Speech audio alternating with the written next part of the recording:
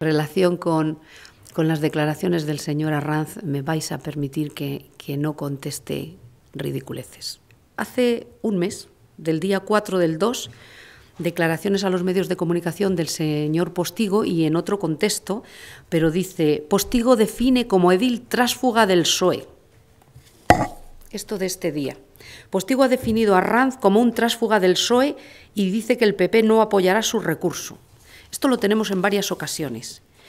Y yo me pregunto qué es lo que ha pasado desde hace un mes. Diccionario de la Real Academia de la Lengua. Transfuga, persona que con un cargo público no abandona este al separarse del partido que lo presentó como candidato. Y, en cuanto a qué ha pasado en un mes en el Partido Popular para que hace un mes reconociera como trásfuga al señor Arranz y ahora no lo reconozca, pues solo se me ocurre una cosa, y es que estamos un mes más cerca de las elecciones municipales. El Partido Popular está haciendo el juego al señor Arranz en muchos casos y el Partido Popular no puede reconocer eh, al señor Arranz ahora, aunque ya lo ha hecho hace un mes, incoherencia absoluta, como trasfuga, porque esto es tanto como reconocer que no está cumpliendo el pacto antitransfugismo firmado por todos los partidos políticos de este país. Yo soy bien intencionada y siempre tengo esperanza de que todo suceda con corrección y normalidad. Confieso que la situación eh, que se dio en el, en, el, en el, pleno pasado para mí fue un disgusto tremendo porque me parece que son formas inadmisibles en la Cámara de representación de todos los segovianos y que los segovianos se merecen el respeto de las personas que les representan. Lo que yo sí que hice fue tomar la decisión que tenía que tomar y punto.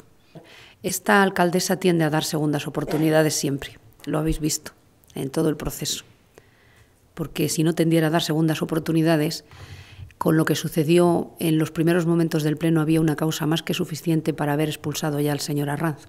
He decidido que no se abre un expediente sancionador por lo que ha sucedido en este momento, con la esperanza de que eso haga que las aguas vuelvan a su cauce y todo el mundo reconsidere lo sucedido y no vuelvan a suceder mm, espectáculos tan lamentables y bochornosos en el Pleno Municipal. No me he puesto a verlo porque no era mi intención, pero sí que seguramente si hay posibilidad de sancionar eh, por inasistencia a un Pleno si no está justificada, imagínese por un comportamiento como el que vivimos el otro día.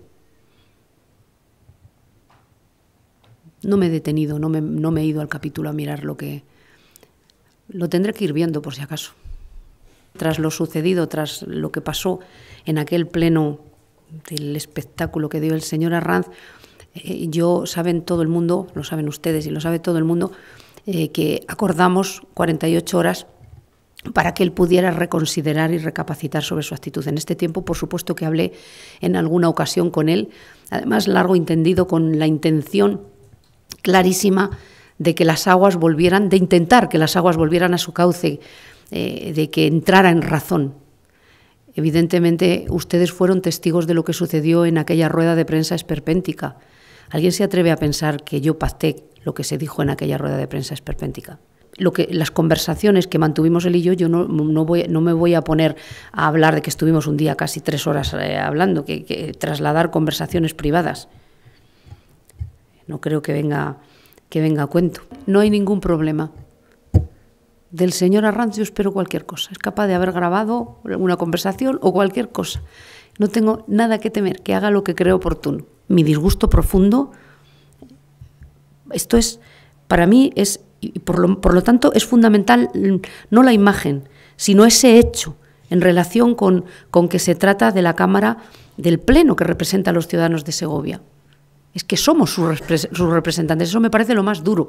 Y luego la imagen que se pueda dar hacia el exterior, pues yo ya no, ahí no lo sé si llega a trascender o no. En todo caso es una imagen deplorable. Bueno, es la única duda que me queda. Si no me, merecía haber sido expulsado antes, pero yo tiendo, eh, tiendo a enfriar esas situaciones mentalmente y a dar una segunda oportunidad. No sé si me equivoco haciéndolo, pero desde luego tiendo a hacerlo. Esperemos que el próximo pleno se desarrolle con normalidad. Vamos a llamar a la responsabilidad de todos los miembros de la corporación para que se desarrolle con normalidad y si no es así, habrá que tomar las medidas oportunas.